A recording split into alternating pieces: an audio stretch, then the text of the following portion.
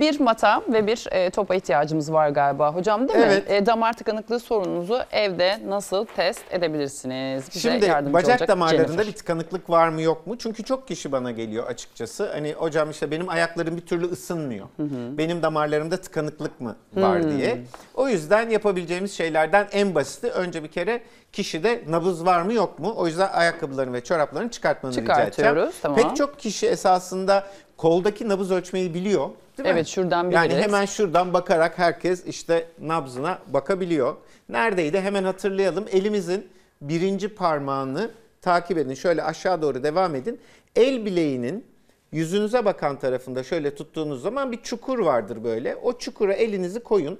Elinizi koyarken de lütfen üç parmağınızı kullanın. Yani tek parmakla değil de üç parmakla bakarsanız daha net yakalarsınız.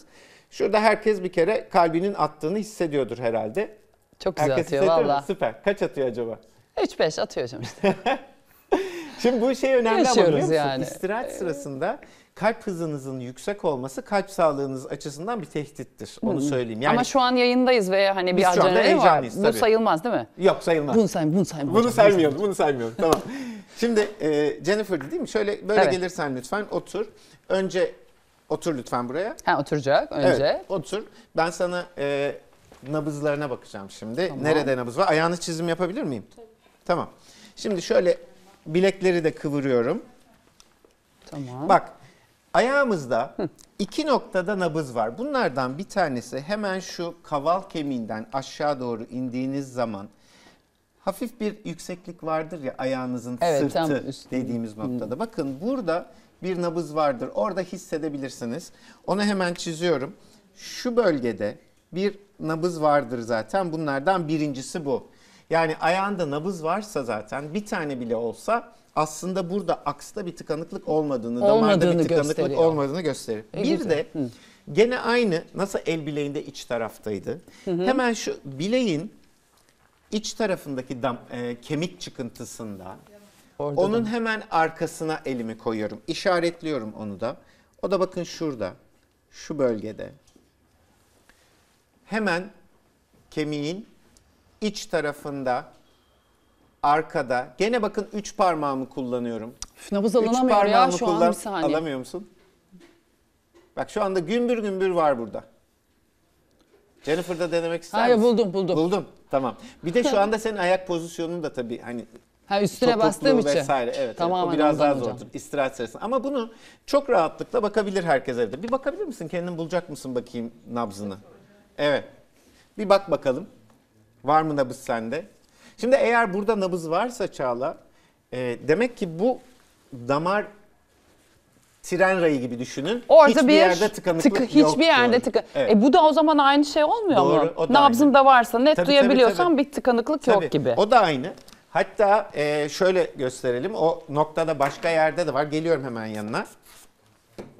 Şimdi senin mesela şurada bakmıştık. El bileğinde bakmıştık değil mi? Başka nerede var nabız? Şurada var. Bazen göbeğimde de atıyor şurada bir yerde de. Zayıf olduğun için. Kilolu olan kişilerde o duyulmuyor. Burada bak hisset damarını. Hissettin. Evet, hissettim. Başka nerede var?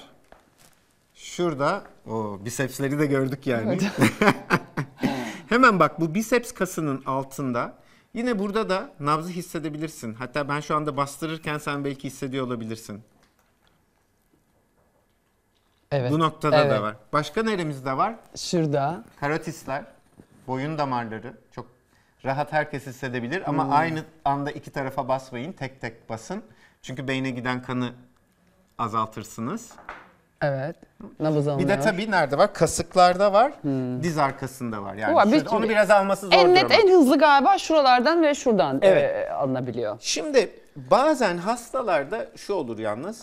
e, damar tıkanıklığı olur ama kendisi çok fark etmeyebilir. Onun için şöyle bir test yapabilirler. Buyurun. Bizim pilates topumuz gitti mi? Arkanızda hocam. Tamam.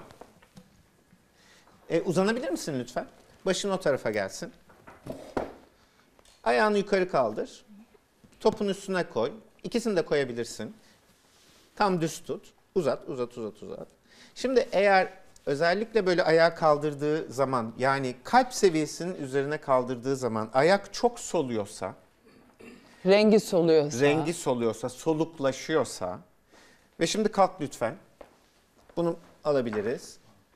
Oturup da ayaklarını sarkıttıktan sonra ayakları bu sefer kızarıyorsa, Böyle dalga dalga gibi. de. böyle morluğa Kıpkırmızı. yakın bir kırmızı gibi olur. O mesela gizli kadar- bir damar tıkanıklığının habercisi olabilir. Ne kadar ayağını yukarıya doğru tutup ne 2-3 kadar otur- dakika 2-3 yeter. dakika Hemen, tuttu. çok sonra hızlı olur. Evet, Oturduğunda evet. eğer kırmızılaşıyorsa. Kırmızılaşıyorsa. Ne demektir yani? Yani bir. dama, ayak damarında bir tıkanıklık olabilir. Fark etmiyor olabilir. Ee, yani ayağında ağrı vardır ama neden olduğunu bilmiyordur. Çok net Hmm. tahmin edemiyordur. Çünkü damar tıkanıklığı çok da herkesin aklına gelen bir şey değil. Evet. Yani çoğunlukla ya işte "Ey, ayak bileğim ağrıyor veya efendim e, dizimde problem var o yüzden ağrıyor diyor herkes. Böyle bir testi evde yapabilirler. Oturduğu zaman özellikle çok kızarık oluyorsa o zaman dikkat. Hatta şöyle söyleyeyim sana. Mesela bacak ağrıyorsa Tamam. ve hasta yattığı zaman ayaklarını yataktan sarkıtmak zorunda hissediyorsa, sarkıttığı zaman Bir daha rahat? Hmm. ediyorsa, evet o da gene bir bacak damarı tıkanıklığının göstergesidir. O zaman hemen böyle bir durum olduğunda Mutlaka bir- hekimimize evet. Kesinlikle bir kalp damar gerekiyor. cerrahisi birimine başvurmak gerekiyor burada. Peki. Jennifer çok teşekkür Çok ediyoruz. teşekkür. Biz e, buradan kaldığımız yerden devam ediyoruz. Soluk ayaklar kalp ve damar sağlığına dair aslında bize çok şey anlattığını bir kez daha anlamış olduk. Herkesin bilmesi gereken kalp krizi sinyallerini bu iki üzücü haberden sonra tekrarlamayı bir borç biliyoruz hocam. İsterseniz erkeklerde Evet. ve kadınlarda farklı seyreden e, kalp krizi belirtilerine şöyle bir lütfen bakalım. Şimdi öncelikle bir kere göğüs ağrısından bahsetmiştik. Ee, bazı kişilerde özellikle bulantı ve kusma olabilir. Bu yine kalbin hangi bölgesinin çoğunlukla e, kriz geçirdiğiyle ilişkilidir. Diyafram bölgesine yakın. Şimdi biliyorsunuz bizim e, vücut boşluğumuzda karın boşluğu var ve göğüs boşluğu var. Arada da diyafram dediğimiz bir kas var. Kalp de bunun üzerine oturuyor böyle. İşte eğer kalbin diyafram üzerine oturan tarafı çoğunlukla eğer bir e, krizle karşı karşıya kaldıysa bulantı kusma bunlardan bir tanesidir. tanesidir. E, çeneye ve kola vuran ağrı olabilir. Nefes darlığı beraberinde eşlik ediyor olabilir. Şimdi özellikle eğer ciddi oranda bir kalp kası problemi yaşanıyorsa yani kalbin Evet. büyük bir kısmında eğer kriz gerçekleşiyorsa biraz önce söylediğimiz gibi beyne giden kan miktarı azaldığı için bayılma olabilir. Olabilir. Ee, ve tabii şunu söylemek lazım.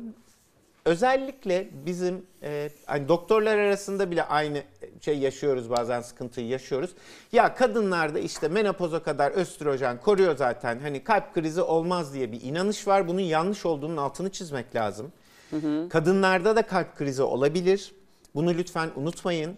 Ee, yani ya nasıl olsa işte göğsü ağrıyor ama önemli değildir. Akciğerinden Ya da menopoza bir şey. girmedim Heh. artık beni bulmaz gibi bir Evet. düşünce çok yanlış Sakın, herhalde çok artık yanlış. değil mi? Ee, bu bütün dünyada tartışılan bir şey. Türkiye'de de öyle. Türkiye'de hatta Türk Kardiyoloji Cemiyeti'nin özellikle bunun için yaptığı çalışmalar var.